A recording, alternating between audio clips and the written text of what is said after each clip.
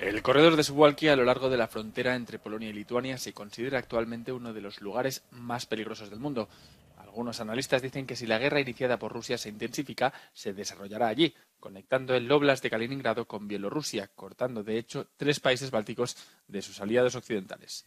La población local está preocupada por esa posibilidad.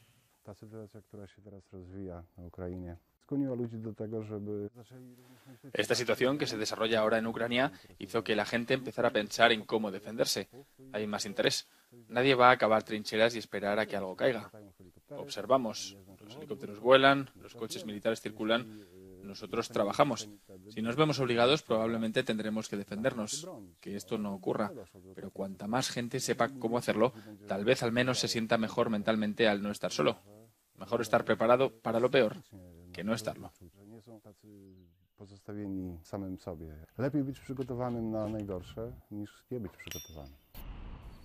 Los políticos locales, en cambio, temen que las especulaciones sobre el futuro y la seguridad de la región solo causen daños. Esta amenaza de la que hablamos es solo hipotética. Y queremos que siga siendo así. Esta situación tendrá un impacto negativo en la percepción de esta región como buena para invertir. Por desgracia, este año habrá menos turistas. No queremos que cunda el pánico. También estamos bajo la protección del ejército polaco, de las tropas aliadas de la OTAN, que están estacionadas no muy lejos del corredor de Suwalki.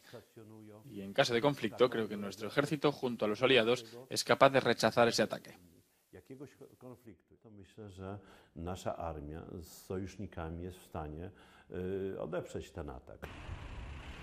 Los expertos no descartan un posible ataque, aunque subrayan que una nueva operación militar sería complicada.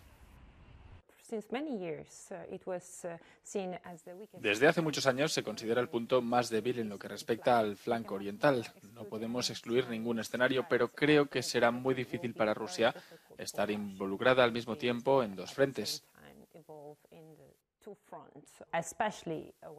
Especialmente cuando se trataría de una implicación según la OTAN.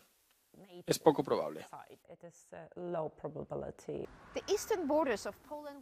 Las fronteras orientales de Polonia, que son también las fronteras de la Unión Europea, están luchando con los problemas procedentes de los vecinos del este del país. Además de la guerra de Ucrania y la crisis migratoria, ahora existe la amenaza de un ataque, que iniciaría una guerra abierta entre Rusia y la OTAN.